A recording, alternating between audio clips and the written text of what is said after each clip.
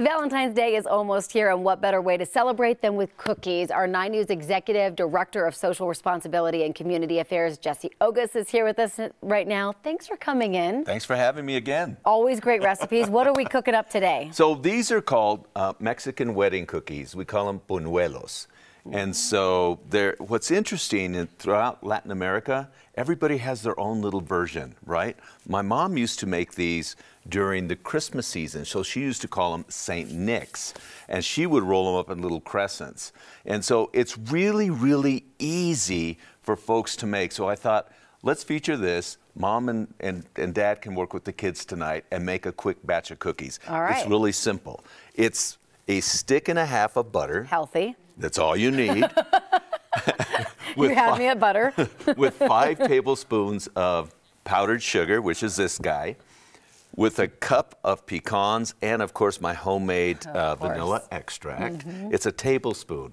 And so, really, all you do is you cream the butter, you cream the powdered sugar, the five tablespoons, and a tablespoon of vanilla. And then to top it all off, you add more sugar.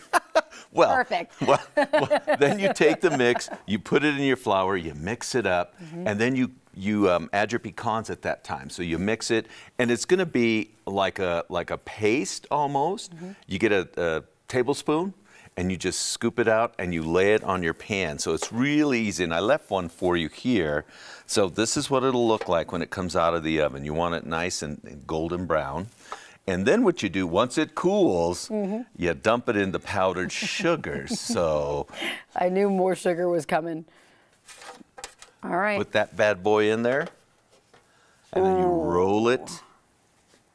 This is so much fun for the kids. I mean, maybe not fun for parents clean up afterwards, but great for the kids. And they taste delicious. They're simple, it's easy. You cook them for 20 minutes at 375 in the oven or until they're golden brown. Like I said, let them sit. Drop them in there. All you need is a uh, slightly greased cookie sheet, and you're ready to go. Simple.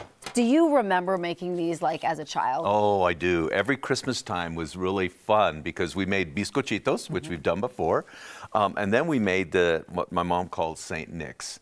Um, come to find out, they're really Mexican wedding cookies. Yeah. But like I said, every culture within Latin America has their own version. Everyone adds a little bit of something, something. They do. I mean, look at you with your homemade vanilla. There I mean, we go. wow. And you know what? And I always tell people, if you're going to use vanilla, don't use imitation what? Smell that bad boy. Yeah, you got to do it up right. That's that's really do strong. Do vanilla good. extract. That's the best way to go. Well, this is so great. Your mom was quite the cook. She was. Well, you know, she um, she raised six of her siblings. Her mom passed away from cancer oh when she goodness. was 12 years old. So she was the oldest, and so she had to raise these little kids and learn how to cook. She had Mama Rita, she called her, her grandmother. She taught her how to cook from a very young age. And so, like I said, at age four, I remember peering over the counter, watching her. And, you know, to this day, I, I hold dear all those uh, traditional recipes. Yeah. And I'm the only one that does it in my family. Well, I'm so glad that she gave you all the recipes and you're handing them down to us, which is so great. Love the family recipes. Jesse, thank you so much for coming in. Thank you. Happy Valentine's Happy Day. Valentine's Day. Now I can eat cookies. I'll bring you one, Jordan. Don't you worry. They're good.